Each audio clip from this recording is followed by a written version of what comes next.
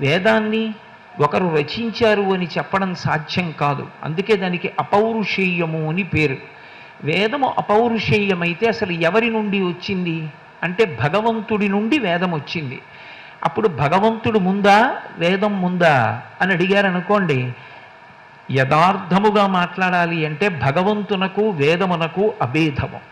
ఈశ్వరుడే వేదము వేదమే ఈశ్వరుడు. ఎందుచేత అంటే మీరు ఒకటి గుర్తుపెట్టుకోండి నేను నా ఊపిరి రెండు విడివడి వేరుగా ఉండం.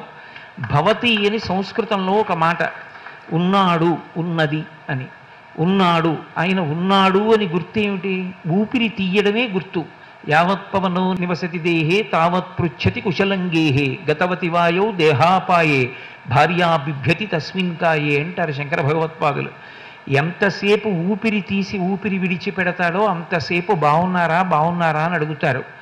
ఆ ఊపిరి తీసినది విడిచిపెట్టకపోయినా విడిచిపెట్టిన ఊపిరిని లోపలికి తీయకపోయినా మా తండ్రి గారు శరీరం విడిచిపెట్టేశారని ఏ తండ్రికి తన కాలు తగిలినంత మాత్రం చేత రెండు చేతులతో కళ్ళకద్దుకుని నమస్కరించినటువంటి కుమారుడే అంత్యేష్టి సంస్కారం చెయ్యడానికి కొత్త కర్రల మీద గడ్డి పరిచి ఆ శరీరాన్ని పడుకోపెట్టి కొత్త తాటితో కట్టి తీసుకెళ్ళి అగ్నిహోత్రమునందు సంస్కారం చేసేస్తాడు.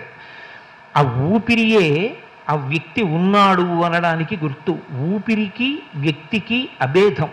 ఇప్పుడు ఈ ఊపిరి ఉన్నది కాబట్టే నేను ప్రసంగించగలుగుతున్నాను. ఊపిరి ఉంది అందుకని తీసిన ఊపిరిని విడిచిపెట్టేటప్పుడు వ్యయం చేసి వాక్కుగా మారుస్తున్నాను. ఇప్పుడు కోటేశ్వరరావు గారా? కోటేశ్వరరావు గారి ఊపిరా? రెండిటిలో ఏది ముందు అని అడిగారు అనుకోండి. ఆ ప్రశ్నకి జవాబు ఉండదు. నేను ఏనాడు మొట్టమొదట మా అమ్మ కడుపులో ఊపిరి తీశానో ఆనాడు నేను ఉన్నాను అన్నది ప్రారంభం.